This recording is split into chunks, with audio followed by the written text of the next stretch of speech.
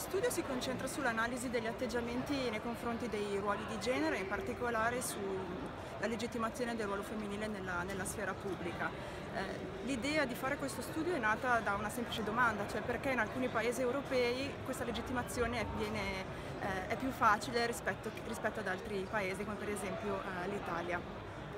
Ehm, diciamo che dall'analisi dei dati, basata soprattutto sui dati dell'European Value Study, di cui l'Università Cattolica è principal investigator per, per l'Italia, emerge un quadro abbastanza singolare che va anche a conferma di, di studi precedenti. Infatti,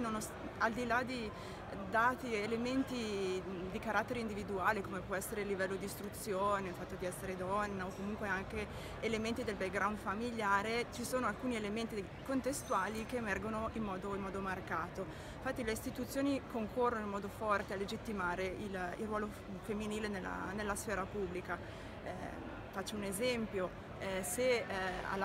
c'è una domanda che viene utilizzata per analizzare questi, questi, atteggiamenti è se il fatto che la donna lavori crei un problema per la famiglia o per i figli. Chiaro che se uno si trova in un paese dove le politiche familiari sono realmente politiche per la famiglia e quindi sostengono entrambi i genitori nella loro dimensione sia lavorativa che eh,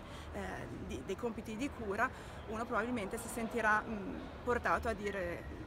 No, tutto sommato non è un grandissimo problema. È chiaro invece che se si trova in un paese come l'Italia dove questi elementi di supporto non ci sono, il fatto che la donna lavori diventa veramente un problema. Quindi non è che eh, gli italiani e le italiane sono di default contro la parità di genere o sono più tradizionalisti, ma ehm, questi loro valori vengono limitati